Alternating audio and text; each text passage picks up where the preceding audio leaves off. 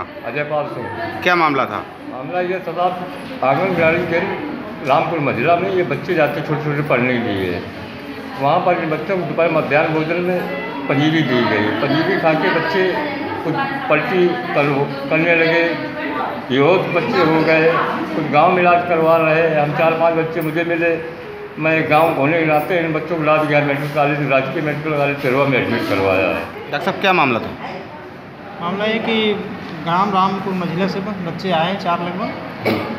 चार बच्चे हैं और भी हो सकते हैं। इनको वहाँ की स्कूल में पंजीरी खिलाएगी उनको फ़ूड पॉइजनिंग हो गया है इससे उनको पेट में दर्द वॉमिटिंग और डायरिया भी हो सकता है।